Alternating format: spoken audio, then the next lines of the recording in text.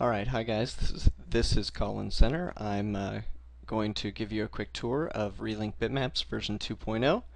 Um, if you just come to my website, colinsenner.com, click on the scripts link, and click on Relink Bitmaps version 2.0. Uh, we can just download it real quick, and we'll just save it straight to the desktop. Okay.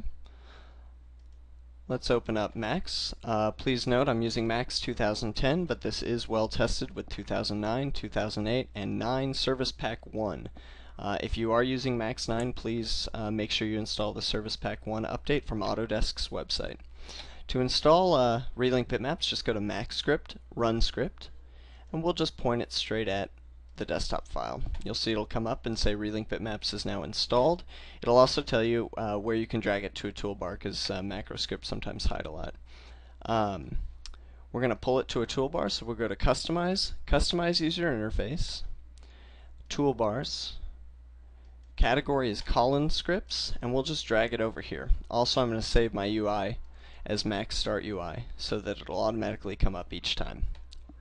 All right, let's uh, let's open the scene I have prepared. All right, we can see that uh, this scene has some missing bits. Doesn't really render very well. Shoot, just push the wrong key press. So you can see it's kind of rendering like uh, it doesn't have any bitmaps. So, so let's launch Relink Bitmaps. All right, now that we got it up, I want to go over real quick just this donate thing. Um, I just want to say that uh, if you can see the time and value that uh, the script saves, uh, any kind of donation you guys can give would help immensely. It'll all go to my student loan debt. Uh, I'm suggesting $4.99 for an individual. If you can spare more, please do. If you can't, uh, it's no problem. I want to release this to everybody for free um, because I know it saved my neck time and time again. All right, let's go over the main interface real quick. Uh, this is the main Relink Bitmaps interface. Here we've got saved quick paths. Um, so let's add a quick path. These are these are paths that you might use a lot um, for relinking. For instance, I've got a vault here that I almost always relink to, so I might add that. But for now, let's just add. Whoops. Hey. Scripts. Relink bitmaps. Assets. I'm just going to add this maps folder. And maybe I'll add one more too. Colin scripts relink. I happen to have all of the missing maps in these two folders for this scene. Uh, and I can show you that real quick. Here's the folders that I just added. I added uh, this one and this one. And if we go into maps, you can see that buried in some of the directories are all of the maps that will that are currently missing. And so here's also some V-Ray meshes that I have that are missing. Alright, so now uh, let's go over real quick what it relinks. It relinks all um, bitmap texture types. It relinks um, mental ray proxies, V-Ray proxies, V-Ray HDRI files, IES files, V-Ray IES files, and certainly more to come um, based on your guys' input.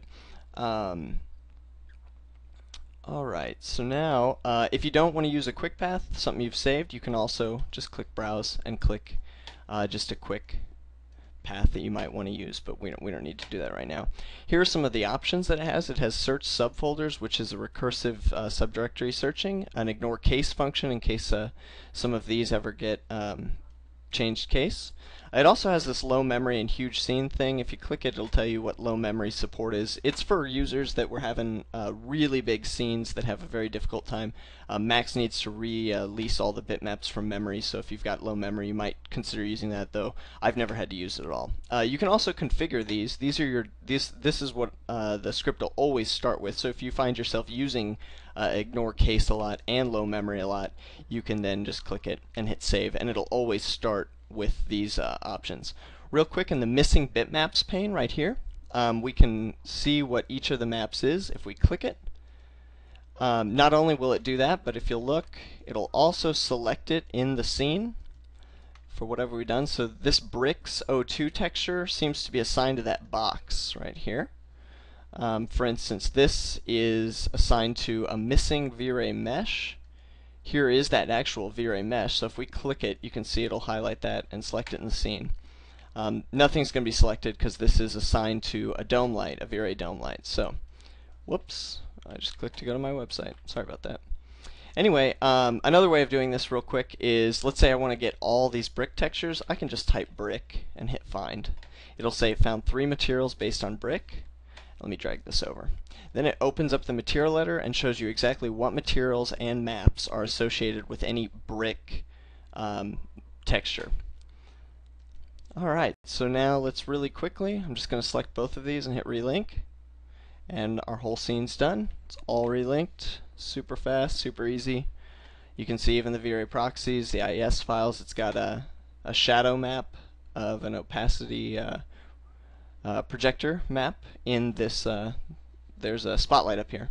And so it even relinked that, and you can tell it's going to render fine, it's going to be great. Um, anyway, if you guys see the um, the time and, and everything that this saves, um, please think about donating if you can manage. Um, you can donate via my PayPal at my um, my email address csenne20 at student.scad.scad.edu. Hope you guys have fun. Hope it saves you a lot of time. Have a great day. Bye.